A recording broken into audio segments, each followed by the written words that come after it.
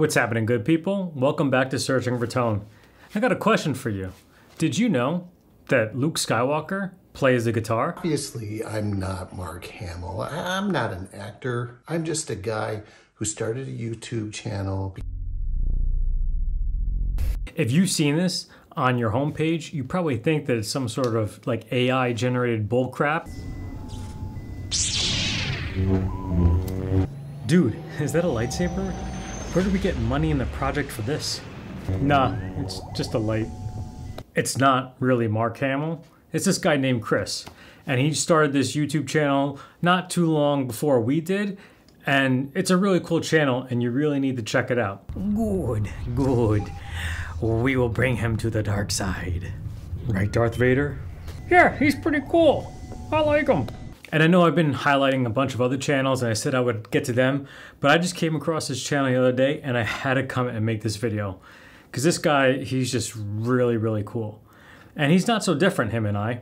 Remember when I told you we're not so different, you and I? We're not so different, you and I. See, I did say that. Mm-hmm. I think the reason why he resonates with me so much is because we really have the same type of interest. We started our channels basically on the foundation of capturing relearning playing guitar at a much later stage in our lives. But nonetheless, he has a great sense of humor. I'm just a normal middle aged guy. You know, I like to get my calcium. And he has that panache that I kind of have with my editing skills as far as adding a little bit more. I need you to go tend to those crops. But I was going to go to town and get a new guitar and some guitar strings. You can play around with your friends later after your work is done. Okay. It is a really funny bit with a whole bunch of different type of guitar related inventions. It's really cool. You should check that out. And to me, I think he's more comfortable around the camera. His editing skills are a lot better. It flows really great. So I'm not trying to turn you away from me. I'm just saying how great he really is.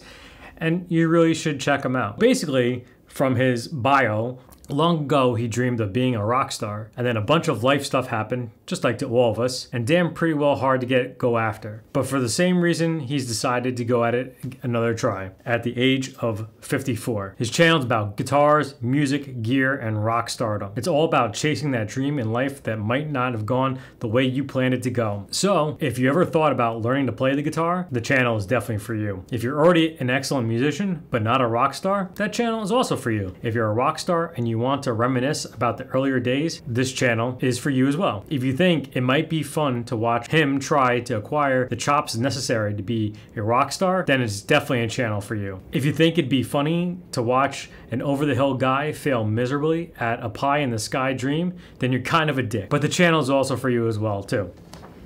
So you see how that sense of humor kind of grabs you? I know two things that will happen with this man.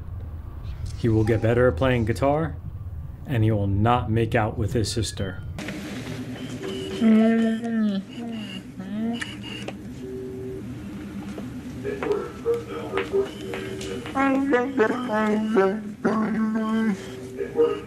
Sometimes it smacks you right in the face, and sometimes it's kind of dry and witty. But nonetheless, you really need to check this guy out. When I first saw him, I really thought it was Mark Hamill myself. And even listening to him, sometimes you have to wonder is it really Luke Skywalker? Are they one and the same? So if you wind up going over there and checking them out, the force is strong with this one.